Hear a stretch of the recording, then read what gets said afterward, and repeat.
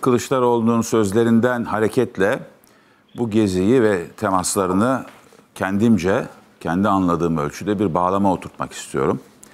Birincisi ben Kemal Bey'le bu konuda tamamen hemfikirim ve Kemal Bey'in sözlerini şöyle anlıyorum. Diyor ki Kemal Bey sana sana konuşmuş ya da işte gazetecilere konuşmuş. Ee, başka gazeteciler de var gördüğüm kadarıyla. Evet var. Değil evet, mi? Var, var. Yalnız değilsin orada. Tamam. Ee, Orhan Bursalı abimiz var Cumhuriyet Gazetesi'nden. Ve KRT'den e, Tülin Dağlıoğlu var. Ee, ve e, Anka Haber Ajansı'ndan Duygu Güvenç var. Tamam. Şimdi diyor ki e, Kılıçdaroğlu e, bu bilgi ekonomisi adını verdiği Özür dilerim. Bu arada Karar Gazetesi'nden İbrahim Kiraz da var. İbrahim Kiraz var. Tamam.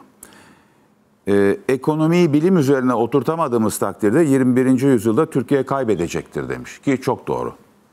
Osmanlı sanayi devrimini kaçırdığı için battı. Bu da çok doğru. Osmanlı, ben araya gireyim burada. Osmanlı birinci ve ikinci sanayi devrimini ıskaladığı için battı. Yoksa baş, Batı'yı taklit ettiği için falan batmadı. Osmanlı 18. yüzyılın sonunda başlayan ve buhar makinesinin ortaya çıkışıyla anlam kazanan birinci sanayi devrimi. Daha sonra da 19. yüzyılın son çeyreği ve 20. yüzyılın başında elektrifikasyon yani elektriğin sanayi amaçlı kullanımıyla e, belirginleşen, tarif edilen ikinci sanayi devrimini açık ara ıskaladığı için battı. Bunun için Osmanlı gerekli reformları yapamadı, bilimi içselleştiremedi, bilim üretemedi, ithal ettiği bilimi de kullanamadı aslında. Bu çok açık ve Batı karşısında bu bakımdan teknoloji alanında geri kaldı, askerlik alanında geri kaldı, yetişmiş insan gücü yoktu, insan yetiştiremedi. Her alanda e, ekonominin gerektirdiği çağdaş sanayi atılımlarını yapamadığı için de e, battı Osmanlı. Bunu başka türlü izah ve tarif etmek mümkün değil. Şimdi diyor ki e, Kılıç, Sayın Kılıçdaroğlu, şimdi Türkiye'nin bilgi ekonomisinin kaybetmemesi gerekir. Bilgi ekonomisinin özü teknoloji yaratmak demektir. Eğer bilgide derinleşebilirseniz teknoloji üretebilirsiniz. Bilgi ekonomisi ismi aslında dördüncü sanayi devrimini tarif ediyor. Yani e, bilginin başlı başına sermaye haline gelmesi ve bu sermayenin de ekonomide zenginlik yaratması. Zaten sen de belirttin. Sürücüsüz araçlardan bahsediyoruz mesela şimdi. Otonom araçlar. Evet ama sadece bu değil. En başta 3. sanayi devrimi misal eğer dijitalleşme tarif ediyorsa 1980'lerde yaşanan şimdiki sanayi devriminin de yapay zeka tarif ediyor ve yapay zeka ile birlikte işte bütün bu e, nesnelerin e, interneti, robotics diye tabir edilen yani yapay zeka ve e, robotların e, e, bir arada çalışır hale gelmesi, e, üç boyutlu yazıcılar, kuantum bilgisayarlar vesaire vesaire. Neticede bilginin bilginin e, bir e, e, başlı başına bir sermaye dönüşerek ekonomik üstünlük sağlaması.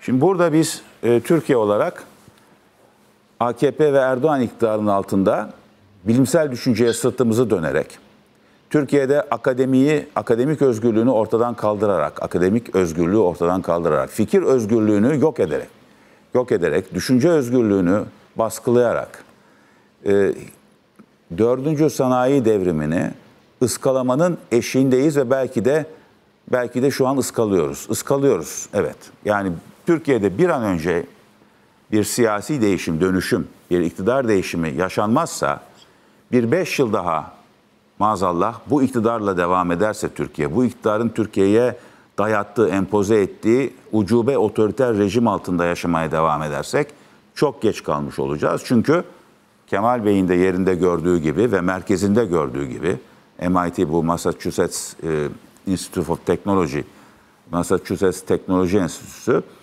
bu e, dördüncü sanayi devriminin fikir merkezlerinden biridir. Üretim merkezlerinden biridir.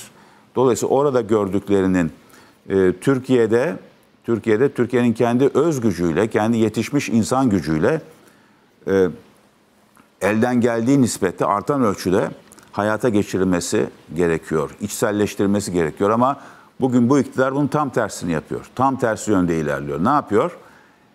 Türkiye'nin iyi yetişmiş gençlerinin geleceklerini Türkiye'nin dışında e, aramasına neden oluyor. Arar hale getiriyor onları.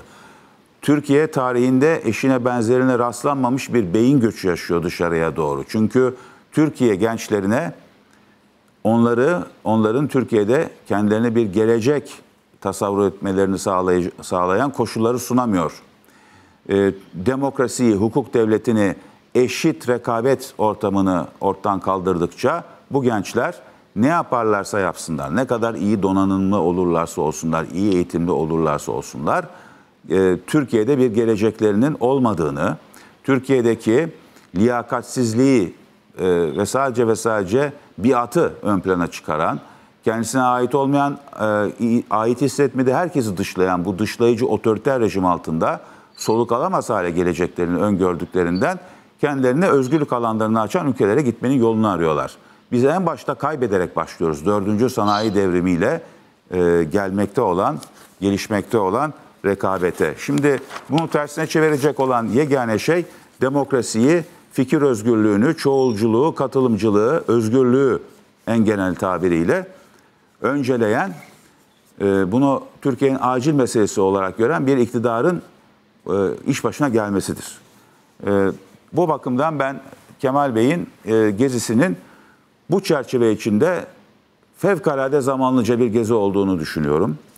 İkincisi, ikinci konuda bence çok önemli. O da şu, dördüncü sanayi devrimi tıpkı daha önceki sanayi devrimleri gibi, birinci ve ikinci sanayi devrimleri gibi yeni sınıflar yaratacak ee, ve kendi yaratıcı yıkımını gerçekleştirdikçe bu yıkım, yaratıcı yıkım diyoruz. Bu aslında olumlu tarafı olan, olumlu doğrultuda bir e, aslında yıkım fakat sosyal sonuçları ağır olabiliyor. Geçmiş sanayi, birinci ve ikinci sanayi devriminde de böyle olmuştu. Makinalaşma öncelikle e, emeğin aleyhinde sonuçlar vermişti.